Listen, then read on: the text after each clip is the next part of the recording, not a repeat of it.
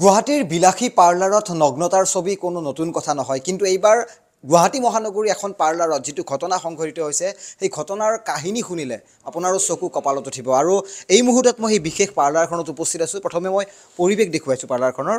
এখন বিলাসী পাৰ্লাৰ গুৱাহাটীৰ এটা অজ্ঞাত স্থানত ইয়াৰ অৱস্থিতি। আৰু বৰ্তমান এই পাৰ্লাৰখনৰ শেহতীয়া যিটো কাহিনী তথ্য পোহৰলৈ আহিছে যে এই পাৰ্লাৰখনত প্ৰায় দহ পোন্ধৰজনীয়া এটা দুৰ্বৃত্তৰ দলৰ প্ৰৱেশ কৰা বুলি এক প্ৰকাৰ অভিযোগ উত্থাপন হৈছে। আৰু তাৰপিছত এগৰাকী যুৱতীক কাপোৰ খুলি নগ্নতাৰ ছবি স্পষ্টভাৱে মোবাইল কেমেৰাত বন্দী কৰাৰ চেষ্টা চলোৱা হৈছিল। তাৰপিছত আহিল ধন দাবীৰ প্ৰসংগ। গতিকে এই সমগ্ৰ ঘটনাৰ আঁৰৰ কাহিনী জানিবলৈ আমি এই মুহূৰ্তত সেই পাৰ্লাৰখনত আহি উপস্থিত হৈছোঁ। আৰু পোনপটীয়াকৈ মই পাৰ্লাৰৰ স্বত্বাধিকাৰী এইগৰাকী মহিলাৰ সৈতে মই দুই এষাৰ কথা পাতিব বিচাৰিছোঁ।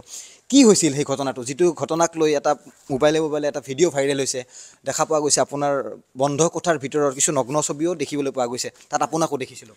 হয় মানে কথাটো হ'ল বুধবাৰৰ কথা আছিলে এইটো। বুধবাৰ বিয়লি ঠিক পাঁচ বাজি পোন্ধৰ বিছ মিনিট এনেকুৱা সময়। আৰু সিদিনাখন মানে দোকানখনত মোৰ ষ্টাফো অকণমান কম আছিলে। ষ্টাফো কম আছিলে মই অকলে আছিলোঁ আৰু দুজনী বিউটিচিয়ান আছিলে। আৰু থেৰাপিষ্টৰ কাৰণে এজনী মোৰ হেয়াৰ ড্ৰেছাৰজন আৰু আৰু এজন যিটো সহকৰ্মী তেওঁলোকৰ অফ ডে আছিলে তেওঁলোকো অহা নাছিলে। সিদিনাখন ঠিক পোন্ধৰ বিছজনমান ল'ৰা পোন্ধৰ বিছজনমান ল'ৰা একো সোধ নাই পোচ নাই সোমাই আহিছে। তেনেকুৱা সময়ত তাৰে দহ মিনিটমান আগত ক্লাইণ্ট এজন সোমাইছিলে ভিতৰত। ক্লাইণ্টজন একেবাৰে অচিনাকি কাষ্টমাৰ মই চিনি নাপাওঁ আগত পোৱা নাই। আৰু ছোৱালী যিজনী ছোৱালী গৈছিলে তাইও মানে দুই তিনিদিন আগতেহে মোৰ ইয়াত মানে জইন কৰা ছোৱালী আছিলে। গতিকে কাৰ কি পৰিচালনা কোনে কি সংগৰ মানে হেৰিত মোক মানে এনেকৈ ফচাবলৈ চেষ্টা কৰিছে সেই তাৰ বিষয়ে মই একো নাজানো। কিন্তু এইটো ট'টেলি ব্লেকমেইল ব্লেকমেইল বুলি মই এইকাৰণে গম পালোঁ যে দহ পোন্ধৰজন যে ল'ৰা ইয়াত সোমালে তেওঁলোকে কাৰ পাৰ্মিশ্যন লৈ আহিছে ইয়াতে? এজ এ সাংবাদিক হিচাপে আহিব লাগিলে আপোনালোকে জি এম চি বা পুলিচ প্ৰশাসনৰ কাৰোবাৰ নহয় কাৰোবাৰ এটা নেতৃত্বত আহিব লাগিব। হাতে হাতে মোবাইল কেমেৰা চাগে ন হাতত ভিডিঅ'ত? মোবাইল কেমেৰা হাতত অকল মোবাইল কেমেৰা আৰু এটা ডি এছ এল আৰ লৈ আহিছে। ডি এছ এল আৰ এটা দেখিছোঁ। আৰু লগত মানে মাইকী মানুহ এজনীও আছে। মাইকী মানুহজনী মই শুনিবলৈ পালোঁ তেখেতৰ নাম ৰুমি নায়ক। কি চেনেলত কাম কৰে কি মই নাজানো তেখেতৰ নামটো ৰুমি নায়ক। কিন্তু কোনো ধৰণৰ বুম নাই একো নাই। তেওঁ আহিছে। আৰু লগত অকল তেওঁৱে মানে সাংবাদিক হিচাপত তেওঁৱে মহিলা।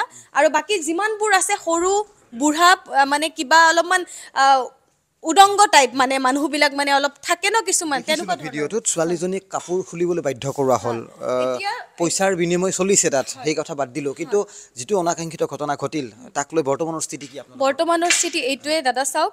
মানে তেওঁলোকে যদি মোক ফচাবলৈ এইবিলাক কৰিছে মই নাজানো। আৰু ইয়াত মোৰ লাগে কাষ্টমাৰজন আৰু যিটো পক্ষ সোমাইছিলে তেওঁৰ কিবা এটা আছে।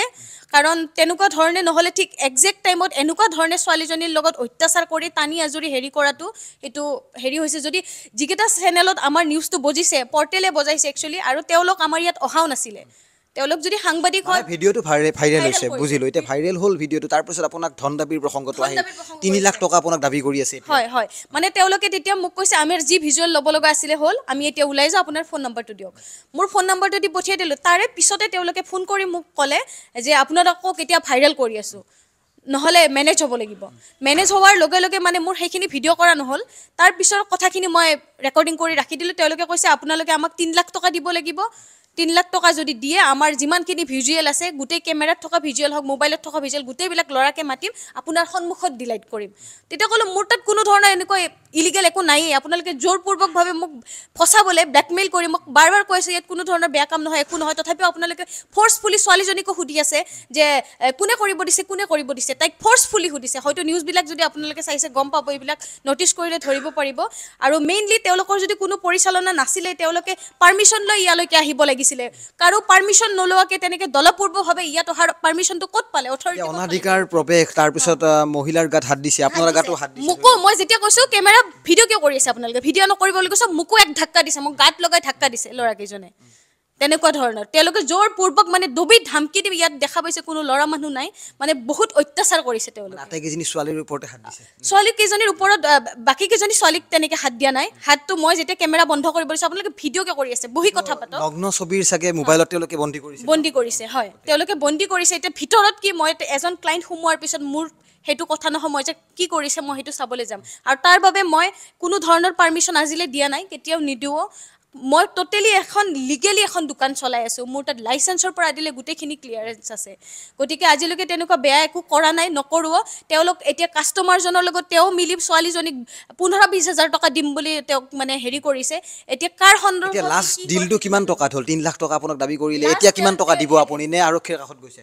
মই আৰক্ষীৰ কাষত মই অলৰেডি কথা পাতিছোঁ। মই ইমান আপোনালোকক মই আগতে কথাখিনি মই জনাই দিলোঁ। এতিয়া মই আৰক্ষীৰ ওচৰলৈ যাম। যিকেইটা নাম্বাৰৰ পৰা মোক ব্লেকমেইল কৰি আছিলে পইচাৰ বিষয়ত মই গোটেইখিনি নাম্বাৰ মই গোচৰ কৰিম এতিয়া গোটেইখিনি দি দিম। কাৰণ মোৰ হাতত গোটেইখিনি প্ৰমাণ আছে তেওঁলোকে পইচা খোজা কি খোজা গোটেইখিনি বস্তু মই এতিয়া এখন এফ আই আৰ মই দি দিম। আৰক্ষী থানাত মানে দি দিম। যদি মই ভুল কৰিলোহেঁতেন মই নিদিলোঁ হয়। মই ভাবিছিলোঁ চব ঠিকে ঠাকে থাকিব কিন্তু তেওঁলোকক মই পইচা নিদিয়াৰ কাৰণে তেওঁলোকে এইটো কাম আপোনাৰ ব্যৱসায়ৰ কথাটো বাদ দিলোঁ কিন্তু ব্যক্তিত্ব হিচাপে এগৰাকী নাৰীৰ ওপৰত হাত দিছে ধৰি লওক নগ্ন ছবি তেওঁলোকে মোবাইলত উঠাইছে। গতিকে শাস্তি বিচাৰিব মই শাস্তি বিচাৰিম তাৰ ওপৰত। শাস্তি বিচাৰিম এইটো কাৰণে শাস্তি বিচাৰিম। তেওঁলোকে কাৰো পাৰ্মিশ্যন লৈ অহা নাই। উইদাউট পাৰ্মিশ্যন ক'ত সিহঁতে ক'ত অথৰাইজ পালে? হাতত ফোন কেমেৰা লৈ ইয়াত আহিবলৈ এনেকুৱা উপদ্ৰৱ কৰিবলৈ ক'ত অধিকাৰ পালে তেওঁলোকে? নিশ্চয় এখন পাৰ্লাৰৰ শেহতীয়া কিছু ঘটনাৱলীৰ কিছু বৰ্ণনা আপোনালোকক জনাইছোঁ। গতিকে আৰক্ষীয়ে এই সমগ্ৰ বিষয়টোক লৈ কিদৰে তদন্ত আৰম্ভ কৰিব আৰু সেই কালপ্ৰিট যিকেইটাক অভিযুক্ত বুলি এই মুহূৰ্তত কোৱা হৈছে তেওঁলোকক অভিহিত কৰা হৈছে তেওঁলোকৰ বিৰুদ্ধে আৰক্ষীয়ে কি ব্যৱস্থা গ্ৰহণ কৰে সেয়া নিশ্চয় সময়ত স্পষ্ট হৈ পৰিব।